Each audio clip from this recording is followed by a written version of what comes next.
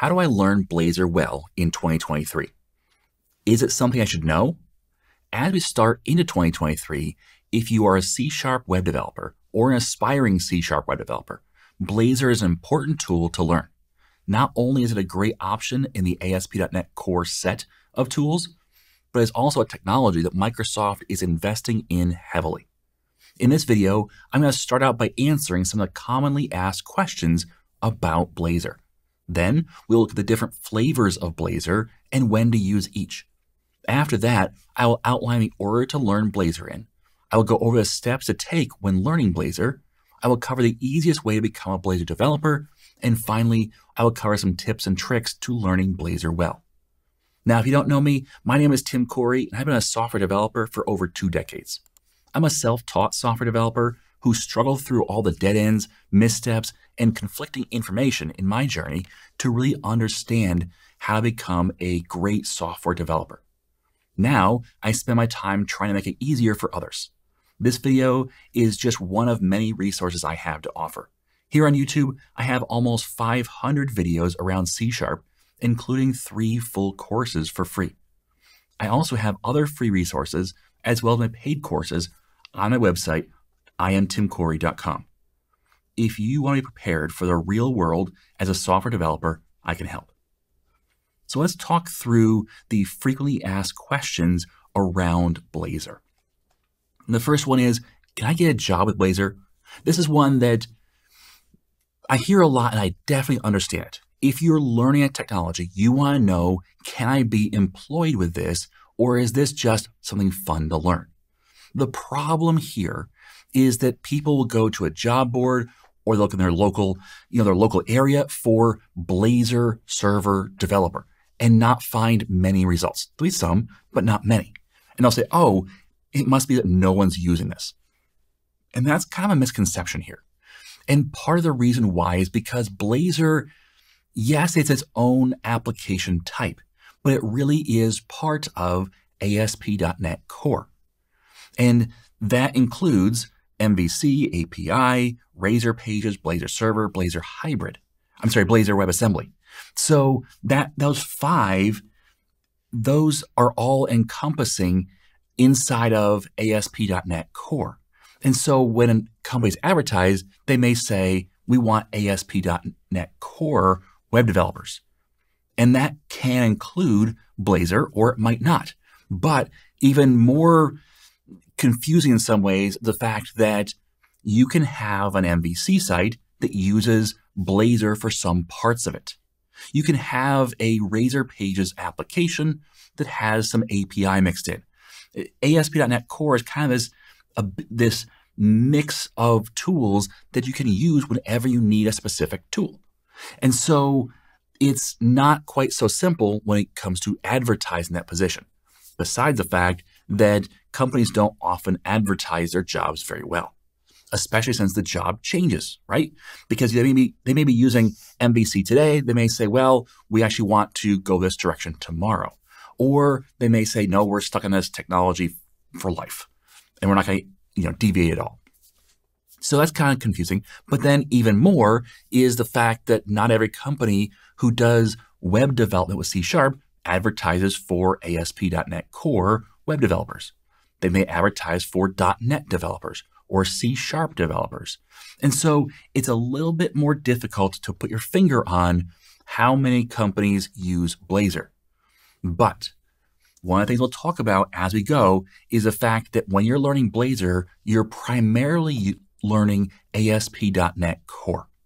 And so Blazor is a piece of this, and it's a really powerful piece that I think you should know. And when it comes to modern development, I think that Blazor is a really good option.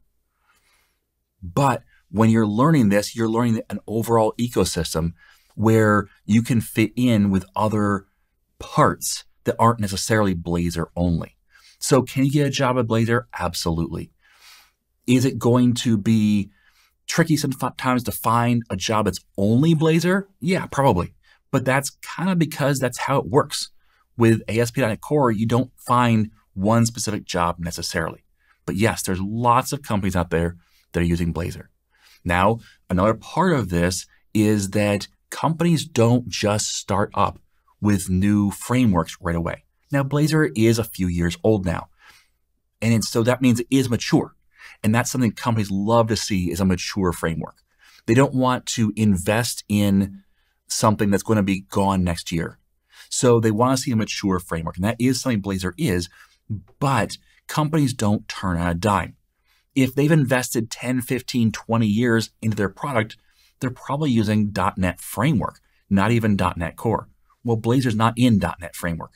And so those companies won't use Blazor because they're still kind of stuck in the framework land. And they might not upgrade for a while, or they might be going through an upgrade process now.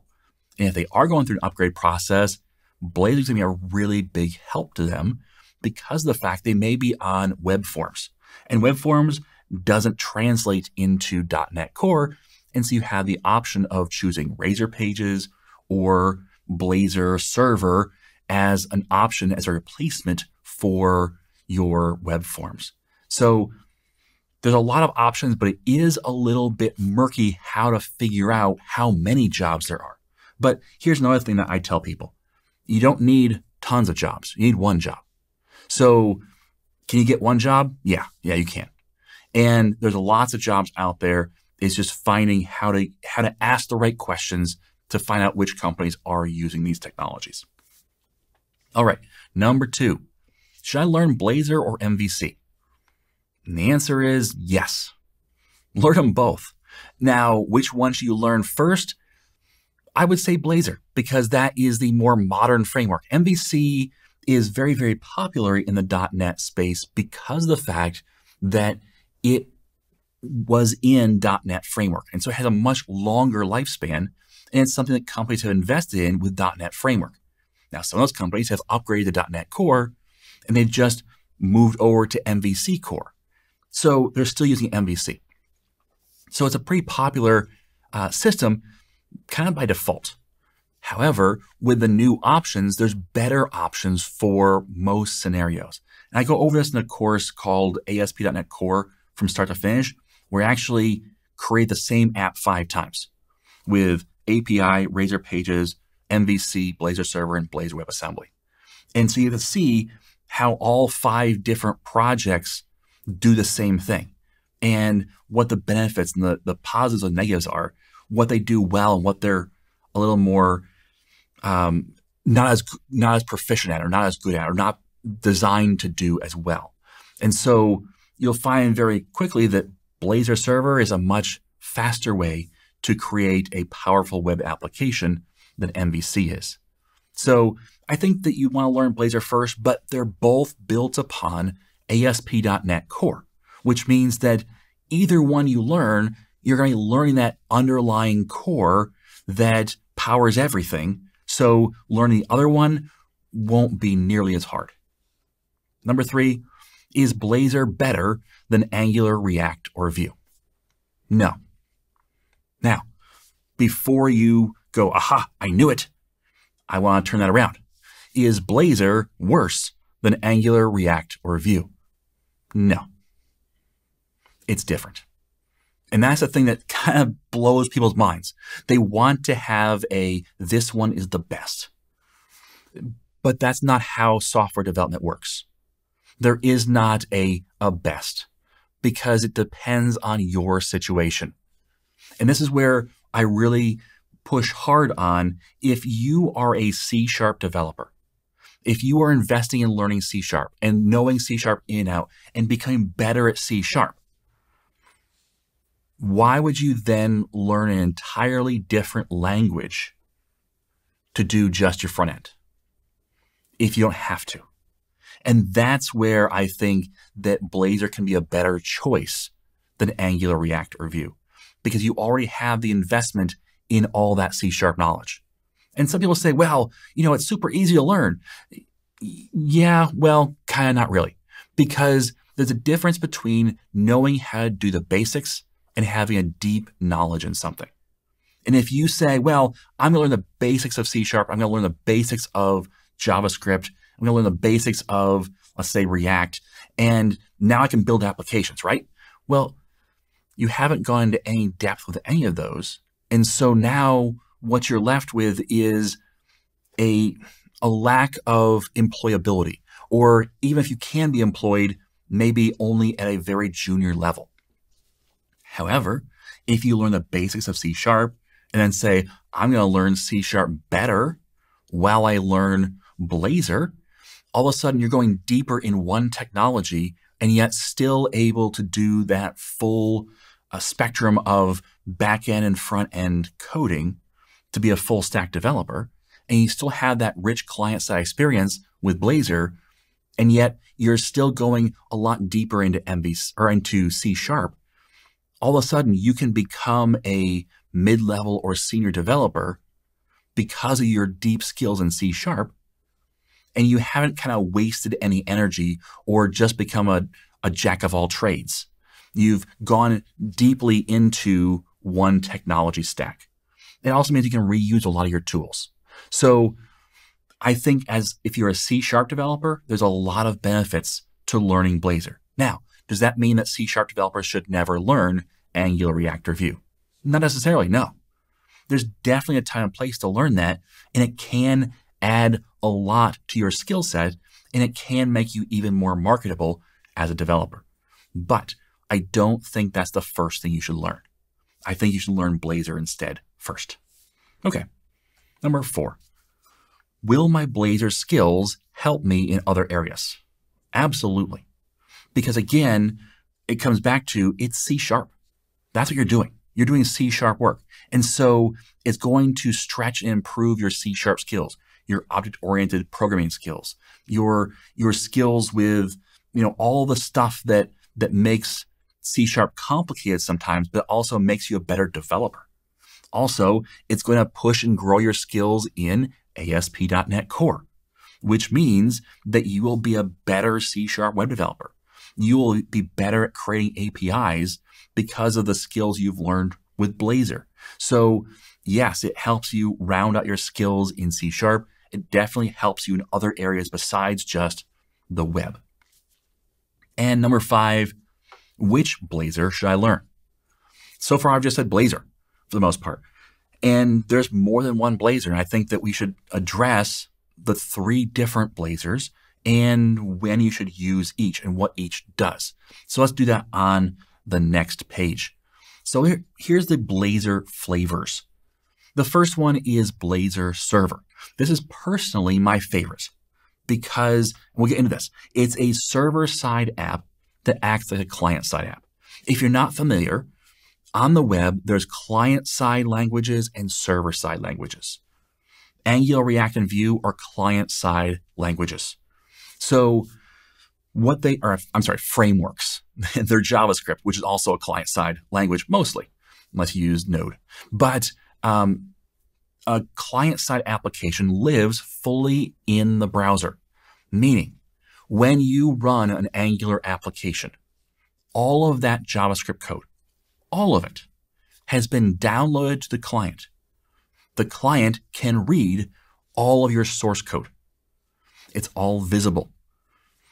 Now, that can sound scary, but what we do is for client side languages, we don't put really secure stuff in the code. Instead, they talk to APIs. And the API, which runs server side, has all the secure stuff.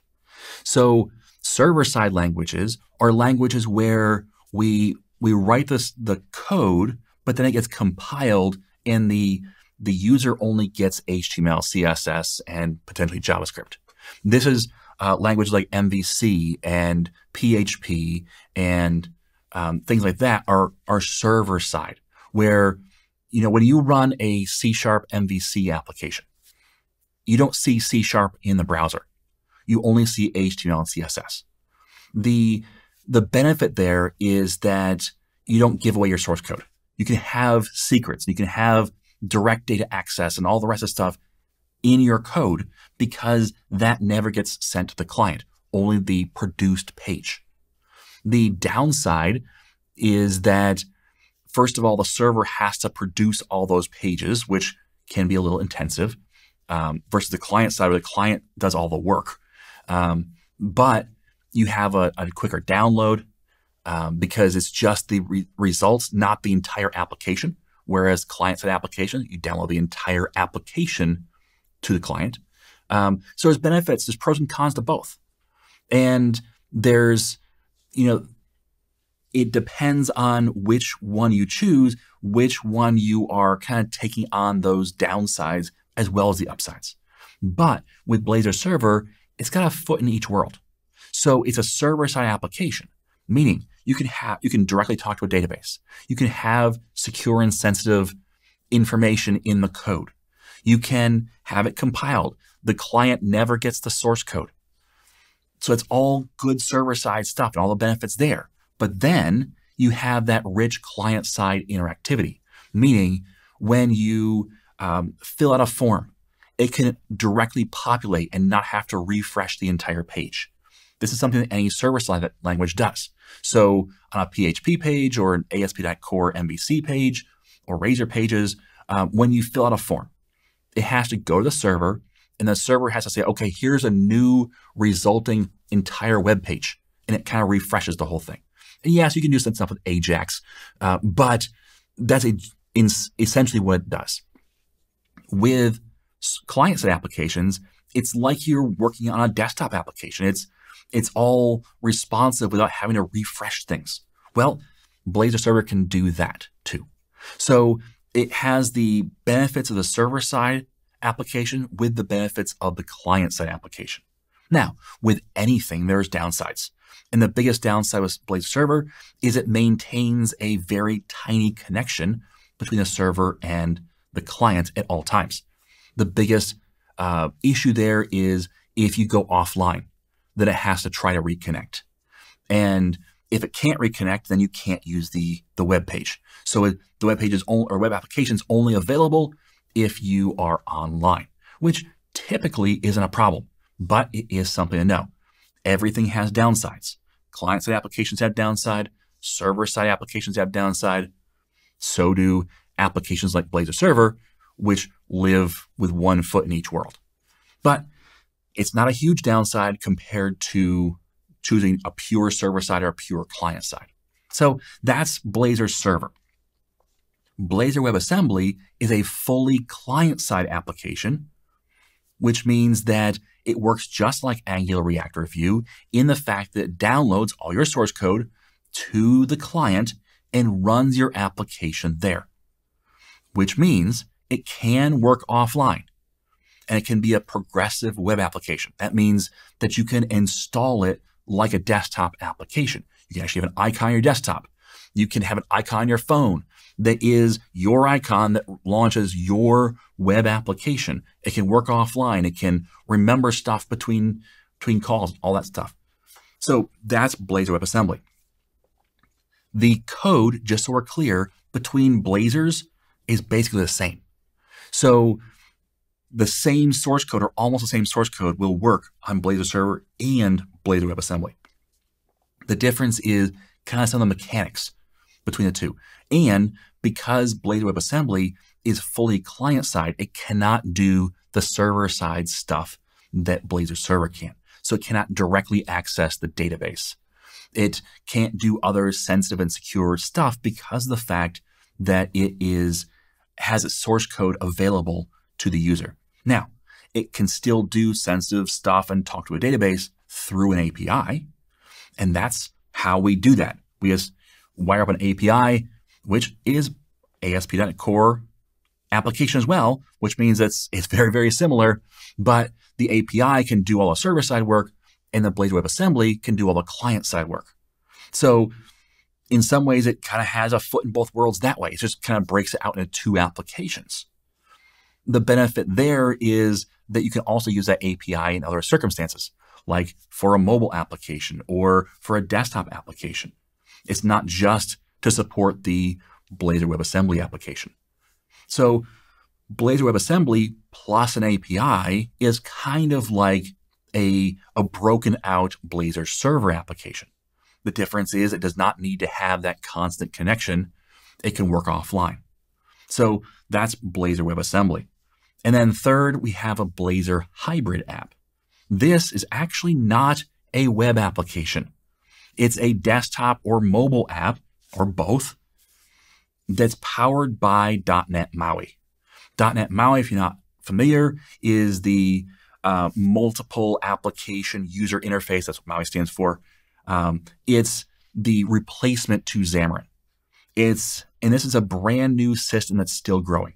So you can use the same code or most of the same code from Blazor Server and Blazor WebAssembly when it comes to the actual pages designs and put it into a native desktop or mobile app. It does not have to talk to a web server when you create those applications. It's not just a, a web uh, host that then talks to the server. It runs your web application natively, but your web application is hosted in that app. It's not going to a server. Does not need to have that connection. So it's a really powerful way to kind of reuse your your skills in a new way on Mac, on Windows, on iOS, on Android. Lots of different options there. So the one note here is Blazor Hybrid is a brand new system that's still growing. It's been out for not quite a year yet as of the recording of this video. So there are changes coming to it because this is where, again, I said that companies love the fact that Blazor Server is mature because it's been out for years. When Blazor Server first came out, it needed some changes. And so it came out in .NET Core 3 or 3.1 and in, I think it was .NET Core 3. But then in .NET 6, it had some major updates because of the things that's kind of missing or lacking. And so there's been some major changes to it in order to kind of get to that mature state where, okay, we've got all the big pieces in place. We're just now tweaking it and making it better and optimizing it. Blazor Hybrid is still in that process of, okay, we need some more things. We need some more pieces to work with. We need to update and fix some, some major sections. So it's still a growing system. It's still very new. It's still something that probably should not be um, your your first choice when it comes to web and desktop.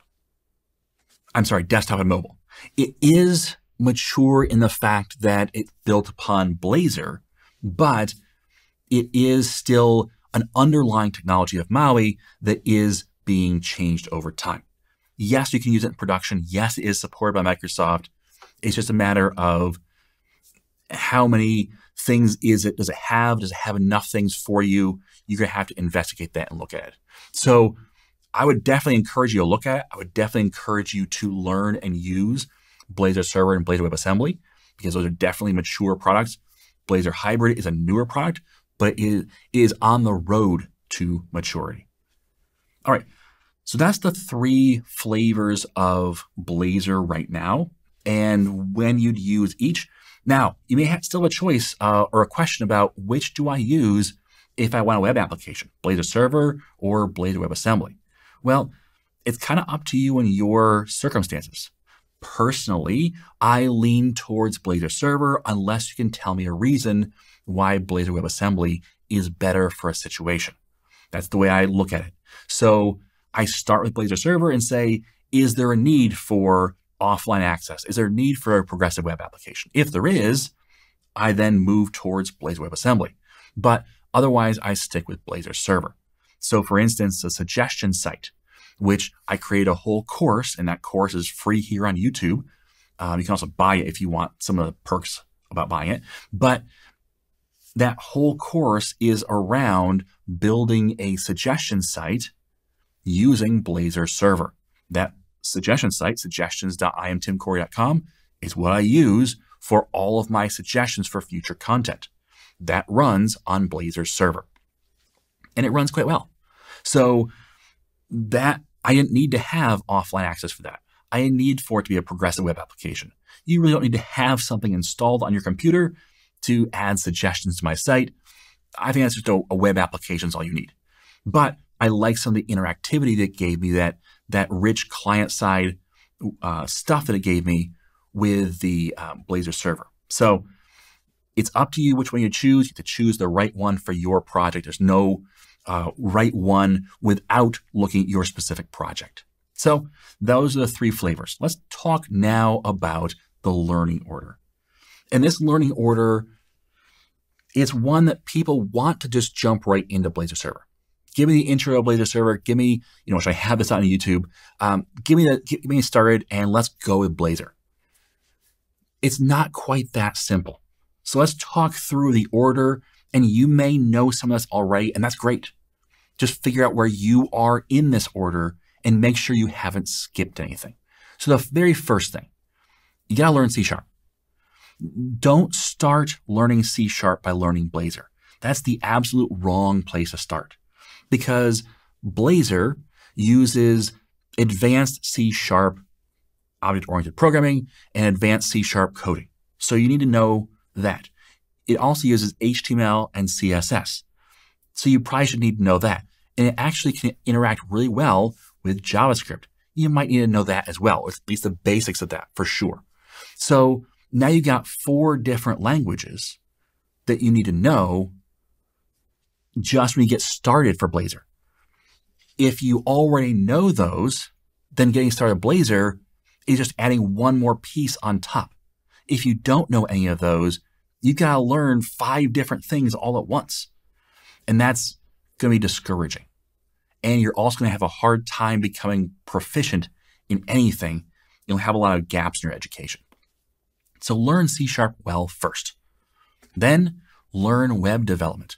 And no, I don't mean Angular React Vue. I don't mean ASP.NET Core. I mean web development. I mean HTML, CSS, and JavaScript. Learn those. Again, not JavaScript frameworks, not JavaScript plugins, not JavaScript, uh, you know, systems or or packages. Learn the actual code. So HTML, and by the way, HTML5, CSS, CSS3, and modern JavaScript. Learn those next. After that, learn ASP.NET Core. This, again, like I said, is the foundation for all of the, the web projects in C Sharp. So it's going to be the same foundation for all five projects. So you should learn this foundation first. Then learn Blazor Server. The reason why is I have found this is the one that fits the most scenarios the easiest. It is a really fast way to create an interactive website that can capture information, that can display information, that can manipulate information, all the things a web application needs to do very, very quickly. And it's usually the, the best way to get the most out of your time. You can get the fastest results with the littlest, at least effort using Blazor Server. So I learned that first. But next up, do learn Blazor WebAssembly. You want to have that additional tool in the toolbox. You want to be able to say, hey, you know what? This isn't the best fit for Blazor Server. We're going to have some connectivity issues. We want to be able to work offline. Blazor WebAssembly is a great option for that. So that's a great tool to build off of. One quick note here that some people, I probably should have put in the FAQs, but some people um, question, well, is Blazor Server going to go away? because it's, you know, just like Silverlight. And I have a whole video on no, it's not. But uh, in fact, what most people think about Silverlight is wrong. And I have a whole video on that. But Blazor WebAssembly is built upon WebAssembly, which is not a Microsoft thing. It's an industry standard. Blazor Server is built upon the connection part. That's the big, you know, uh, fancy secret sauce in there. The connection part is SignalR. But what is SignalR? It's actually just a, a wrapper around web standard connectivity. Uh, web sockets and long polling and some other types of, again, industry standard ways of connecting. It just makes things easier with SignalR. So these things are all web standard ways of doing things. And then they build on top of that using C sharp and do it in open source system. So this is open source technology built upon web standards. That's a far sight different than Silverlight. It's a far sight different than saying Microsoft has full control over this. So just note that these are rock solid technologies and they're web standard and web compliant. Okay, so next up, these are the things that you can kind of learn in any order, but they're they'll all be beneficial to learning these. Git. You should learn source control, specifically Git. And I have a whole video on getting started with Git in 2023 um, that you should check out if you've not yet learned Git. Docker, uh, same thing. You need to know Docker in 2023. Docker is a really important technology. And yes, there are um, ways of not using Docker itself, like Docker desktop, but you're still using containers. And so you should know about containers. You should know how to use them. And Docker is the easiest way of using containers, especially locally. So learn about Docker. Um, some people have the question, well, you know, there's also now serverless. So therefore, I shouldn't need to know about Docker. That's a misconception. Learn Docker. Serverless is something else, and you still should know Docker and containers. Uh, Azure. You should know a cloud platform. I recommend Azure um, for a number of reasons. One of the biggest one, the biggest reason why I recommend Azure is because of the number of horror stories I have heard from AWS people where they've they try to learn AWS and which is Amazon Web Services, by the way, um, and that's kind of a big player in the market. And they've they've learned it and they've gone through tutorials, and all of a sudden they get a ten thousand dollar bill, and that's confusing, that's frustrating, and that's scary to think that that could come. And it's a lot more difficult to track expenses in AWS. It's a lot more difficult to manage the systems. And Azure has put some things in place that make it a lot easier. It still can be confusing to work in the cloud the first time. However, I've got a whole course in Azure, and that's one of the big things we concentrate on are all the tools that you can put in place to make sure that you protect yourself and that you spend less than what you would in other ways, meaning less than you would spend on a regular web host, less than you would spend on a uh, a normal database or whatever, and how to make sure you monitor that budget, how to make sure that when you're testing things that you fully get rid of anything that's going to charge you, how to make sure that you you know block anything that could be too expensive, and so on. So I have found that Azure is a safer environment, especially for learning. So uh, that's what I recommend, but learning a cloud provider is important when learning the web. And then uh, Bootstrap, because Blazor Server, Blazor WebAssembly, the templates that are not the blank templates use Bootstrap as their structure for um, creating web applications. Their their way of shortcutting a lot of that work. And if you bring in the Microsoft Identity stuff, well, that also uses Bootstrap. So if you use anything in .NET Core, MVC, or Razor Pages, they also use Bootstrap and Bootstrap 5, by the way. So I recommend learning it. Now, do you have to use Bootstrap? No, you do not. You can rip it out. You can use the blank templates for Blazor, um, and that will give you basically no frameworks, no systems. You're on your own to figure out how to make everything work and write your own CSS. You can do that. But I'd recommend make your life easier, learn Bootstrap. Now, one of the things you will not notice in this list, it may be glaringly obvious, you may not, you may have forgotten about it already. Blazor Hybrid isn't in this list. And that's by intent. I thought about it. I thought about saying, well, let's add one more. Um, yes, after all of this, I'd recommend using learning Blazor Hybrid, but it's not something I'd recommend before learning all of this. Also, Blazor Hybrid is not quite the same thing as a web application. It's a desktop slash mobile application. And there's a whole lot more to learn there.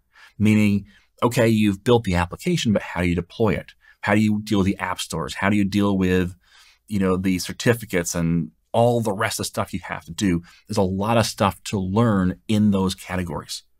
So what I did instead was I focused on the web portion of this which is Blazor Server and Blazor WebAssembly. The cool thing is that if you learn all of this, then learning Blazor Hybrid is just a matter of adding the mobile slash desktop deployment scenario stuff and the few differences that hybrid brings versus other Blazors. So you've made your life a whole lot easier when doing that if you go this route first. So that's my recommendation for the learning order. That's my recommendation for for what steps to take. Yes, this is a lot of stuff. This is a lot of stuff to learn. And if you're just starting off and you say, well, I want to learn Blazor, I would start with C sharp. Please trust me on this one. I have seen people start in the middle. And that's what you're doing. You're starting in the middle.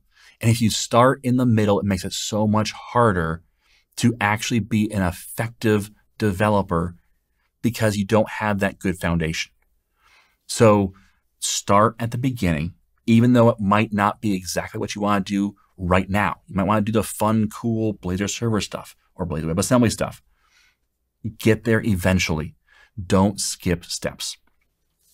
So with that, um, let's get into the learning steps, the, the steps to take.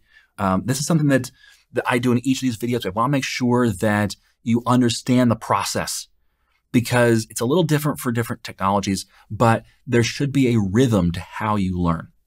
So first thing, learn a small topic or item. Don't bite off huge chunks. Don't say, today I'm going to learn object-oriented programming. That's way too big. Learn about class instantiation instead just that. Learn why you instantiate classes, how instantiation works, what it means.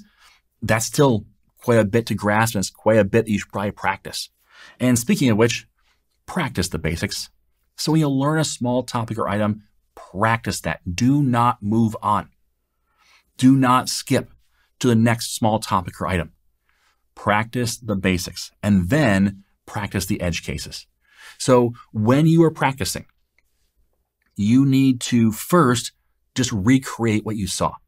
Can I do that? Does it work for me? Is there something different that I need to do? Because sometimes things will have changed. I just worked with a customer who um, asked a question because in the video I used the Microsoft command prompt. And when he was doing it, it was the Microsoft terminal. And there was tiny little differences in the two. Well, when you practice, you figure those things out. And at first may be frustrating because you're like, it's not exactly the same. That's okay. Learn how to adjust, learn how to figure out the differences, figure it out so that you know how to actually use it in the real world. And then that's the basics. But then try to expand, try to play the options, try to play with the different pieces of it and see, hey, how does this interact with something else? Or how does this interact with what I learned in the last lesson? Or how do I add these features or, or tweak this? And what does this do? And just try stuff. It's okay to break stuff and practice. If you're practicing in a practice environment, not in production, but if you're practicing in a practice environment, you can break anything you want. The worst case, you start over. No big deal. You do not want to do that or have to do that when you are actually dependent on your code working. So break stuff, try it out, figure out what works, what doesn't work, and understand better how to use what you just learned. And only then do you repeat. So that's the cycle. Do that over and over and over again. Don't skip steps two and three. It's very important. This is what separates people who get it from those who don't is steps two and three. I used to teach a class and it was a 16 week class where I would teach C sharp from, from start. So students would walk in knowing nothing about C sharp. I would teach them for 16 weeks. And one of the things I almost always told the class in week one was practice. Here's how you practice, practice this. Every week, I want you to practice what you just learned. And I would tell them, listen, if you don't practice, you're going to be fine or think you're fine until about week five. And then week five, you're going to come to me and say, I am so far underwater, I don't know what to do. And I'm going to ask, did you practice? And you're going to tell me, no, I didn't really practice. I was, you know, I was busy. I was, I thought I had it. I, I, I was pretty sure I understood it, but now I realize I don't. And that realization, it's kind of, it's kind of too late at that point. You've got to go back and start over and start practicing. And so those students would have to play catch up. where they have to practice five weeks worth of work in one because they have to keep going, you know, for week six, week seven, and so on. So you have to catch up by practicing everything that you thought you knew, but you really didn't. So practice, practice, practice. It's super important. It's the number one thing I recommend because this is what separates people from thinking they want to be a developer, trying to be a developer, to actually becoming a developer is that practice. Okay, so let's talk about the easy path and then we'll get into the tips and tricks. So the easy path, this is, in case you didn't know, I sell courses. Now, I want to be clear here. I have almost 500 free videos on YouTube. I have lots of free content and you can learn from that content and you do not have to pay a dime. So I would encourage you, if you're like, man, I got to really scrimp and save to try and maybe afford one course, don't do it. go the easy, go the the route that takes you more time.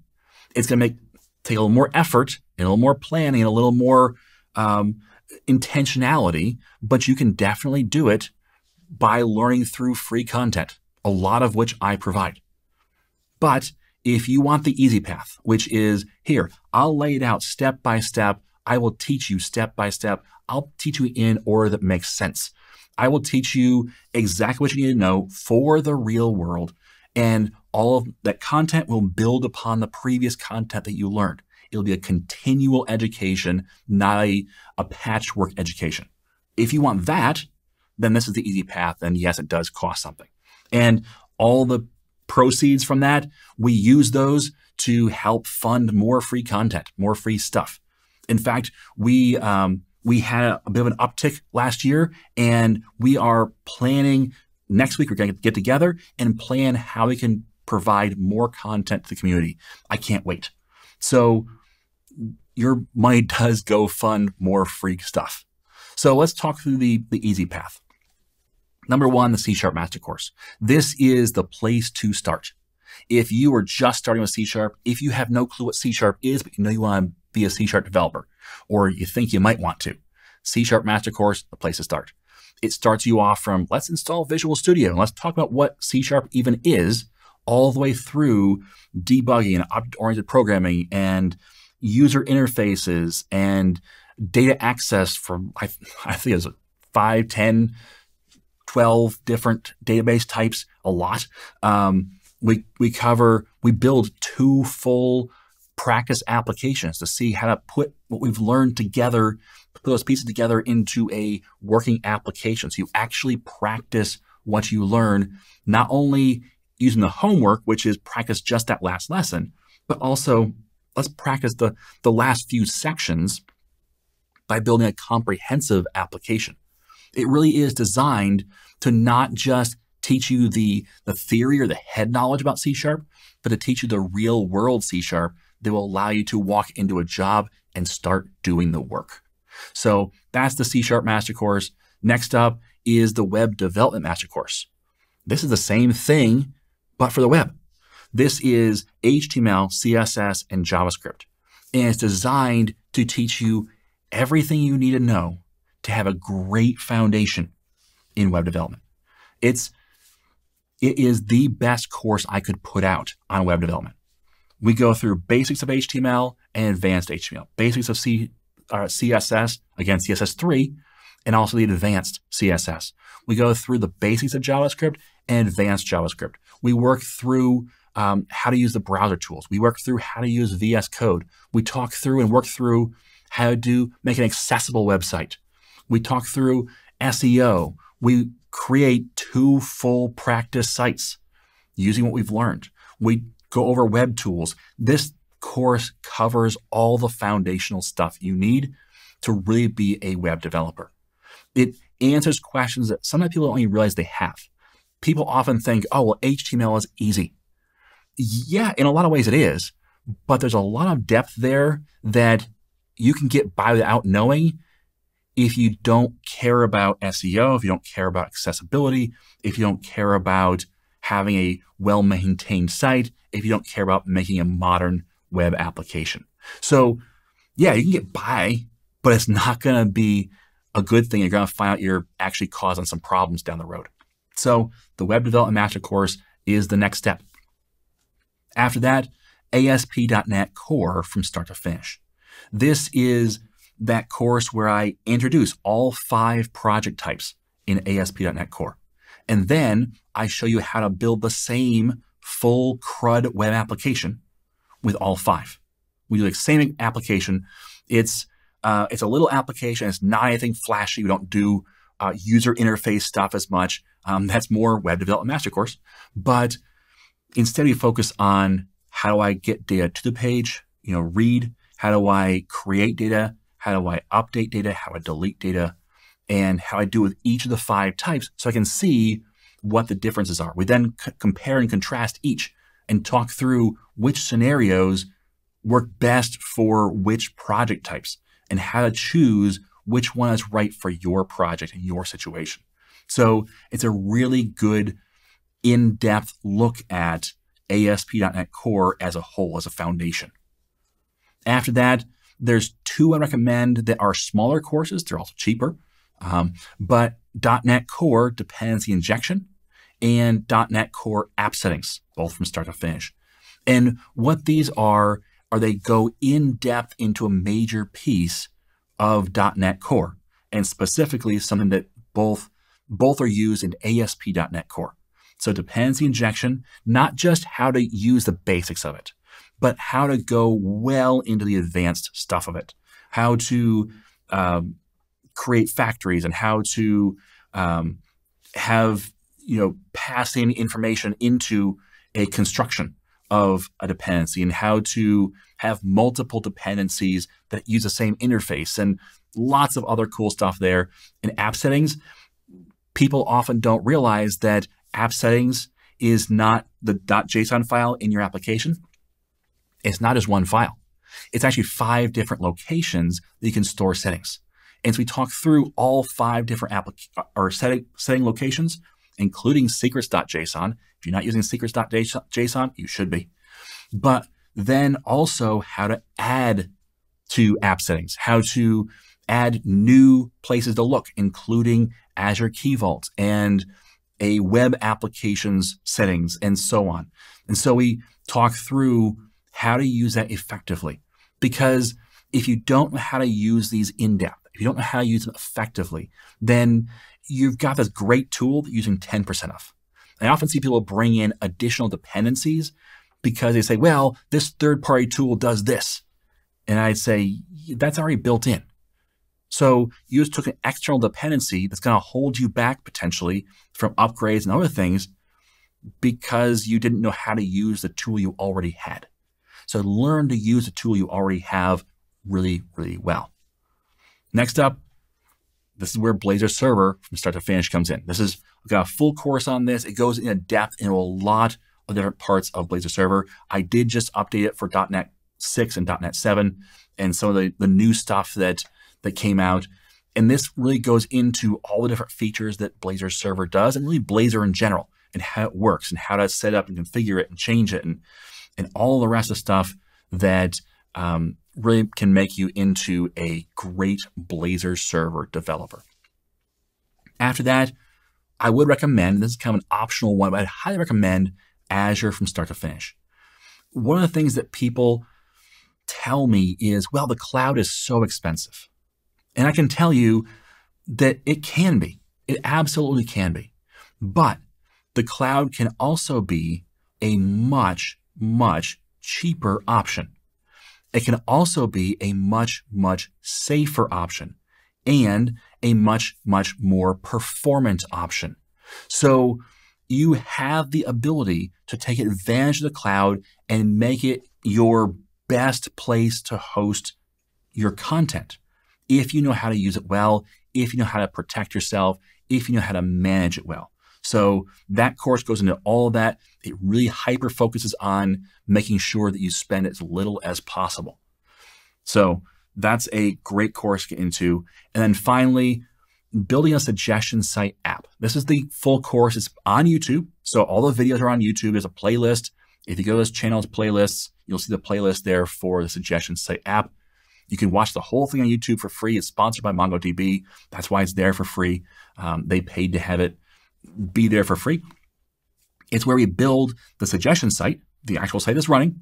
We build that using Blazor server, using MongoDB as a database type, and we build the entire application. We we talk through and build a nice user interface. We work through how to do some of those HTML things that are important, the CSS things that are important, and set up our own design and system and work with Bootstrap and how to do that effectively. And we, we talk through how to build a full uh, CRUD access with MongoDB and how to do that well and how to um, manage your data so that it's efficient performance and all the rest, how to do caching and so on. So we do a lot of stuff in that, that full site app. The, the intent is to show you how to build a practice application that puts together all the pieces you've learned previously. Now, in this case, it's an actual application as well because I was already building it. However, this is the kind of thing you can do for practice so that if you mess it up, no big deal. And you can follow along as I do this and have your own site like it, where you can then tweak it and play with it instead of trying to build everything from scratch. But this is a definite um, must do at some point is something like this, where you're building a full application that's not going to be your actual application. Now, I did it as my actual application because I've done this multiple times as practice applications. But I want to show you how to build practice applications that are full applications so that you get that habit and that, that rhythm of how an actual full application gets built. That's something that I hear a lot of people say is, you know, I really know C Sharp well, but I've never built a full application, or I wouldn't know how to build a full application. Well, that's because you're not practicing all the pieces. Okay. So you need to practice individual pieces, but then you need to practice putting them together. And that's where these build a full application courses. I got multiple of them. This is where they come into play because they can help you see how to build and practice putting together all the pieces to build a full application. So that's the easy path. There's a lot here. I don't expect you to then just say, okay, I've got to go through all of those. And if you do, it sounds like you probably need the all access pass because it's going to be a whole lot cheaper. But I expect that you're somewhere on this, this list where maybe you say, you know what? I know C sharp pretty well. Um, I, I know ASP.NET Core pretty well. I know dependency injection app settings pretty well, but I don't really know web development yet. Or I've kind of learned on my own and piece it together and I have some gaps. So I need to do that, step two. But then I can skip down to step six. And that's fine. Use this list as it works best for you. I can't know what your specific circumstances are, but this is the comprehensive list of start to finish what will turn you into a great Blazor server developer and you need to figure out what things on this list you need to do. And I'd recommend doing them in this order. All right. So let's talk through some tips and tricks. So the first one, this is a hard coded one. I said it before, I won't belabor it too much, but practice is an extra. It's essential. If you don't practice, and if you don't practice enough, what's going to happen is you're going to think you know something until it comes time to actually use it. And then you're going to get into trouble. You're not going to know how to do it. So practice isn't extra, it's essential. Number two, don't skip the easy stuff. And I put that in quotes because it's not actually that easy. You need to know how to do the more in depth stuff. But don't skip the easy stuff like HTML. HTML, if you don't know, and you should, HTML is about building the structure of your web application. It's designed to be developed in order in a way that it's like building the, the frame of a building. If you don't build the structure right, you can make the walls look as pretty as you want. It's not built right. Okay, so you need to make sure that you build your structure correctly. So don't skip out on HTML and say, well, it's just divs and h tags. It's much, much more than that. Stick to the plan and learn in order. I know it is it is tempting to just learn the flashy stuff. Learn the stuff that you can actually see results on right away, the stuff that you can show off and say, hey, I got this cool web application that, you know, does these things. And you can follow tutorials and get a working Blazor server application or Blazor WebAssembly application that does stuff that is really cool. And you could think that you have made progress. The problem is that you've built it on a black box. A black box is something where you don't know what's going on inside. And that's kind of how you'll look at your web application. Like, I know it works, but I don't know why it works. And that's a super scary place to be because at some point it is going to break. And when it does, you will have no clue why. And at that point, you will have to learn everything you need to know in order to fix it which may be a significant portion of the learning path I just showed you, which is hours and hours and hours and hours and hours of content. Well, you don't want to do that when production is broken. Okay. So if you stick to the plan and learn in order, it won't be a black box. You'll understand the pieces that go into it. These, you build on the foundation. And so if you have a good foundation and you put good pieces on top of foundation. And then you start learning and using Blazor where you have this solid foundation underneath that allows you to understand what's going on. Then when things break, you'll have much more confidence in your development skills, in your ability to fix it and to make it work. So stick to the plan, learn order. It'll be much better for you. You'll have much better success. You'll have a much better outcome please just stick to the plan. Number four, pace yourself. When you're enthusiastic, you want to sprint. Don't sprint. This is a marathon. Take your time, put it on the schedule. Say, I'm going to practice four and pick a reasonable time. Two hours, one hour, twice a week, whatever. Pick some time, put it on the calendar for every week. And so you say, I'm going to practice Saturday morning at 8 a.m. for two hours every week. And you know what? Stuff's going to happen. Stuff's going to happen where you're not going to be available 8 a.m. on, on one Saturday. Don't despair. Don't give up. Don't then use that as an excuse to put off the next Saturdays. Instead, move it. Put it on the calendar and say, well, then I'm going to reschedule this for Sunday at 8 p.m.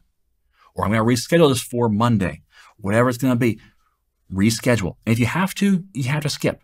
That's, it happens sometimes.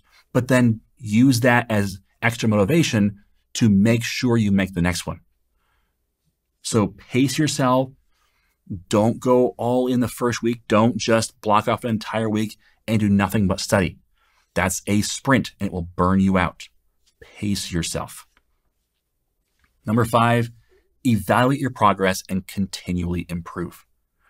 You want to continually look at how you're doing, how you're learning, and figure out how you can make things better, but also look at this as a way to encourage yourself.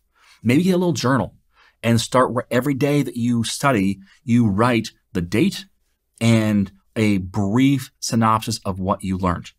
If you do that, then when you look back over the last three months, you'll flip through multiple pages. You'll see all the progress you've made. Instead of just looking at your your to-do list of all things to learn and seeing how far and how large that is, you'll see how far you've come and how much you've learned. That will continue to encourage you, but you can also look at that and say, hey, if I made these changes, I could learn a little better. I could have a little better success and have even more pages done by the time we hit the next section. Okay. So that's how you continually progress and continually improve. All right, so that's it for learning Blazor in 2023. I hope it's helpful. Uh, leave comment down below what your thoughts are. Thanks for watching. As always, I am Tim Corey.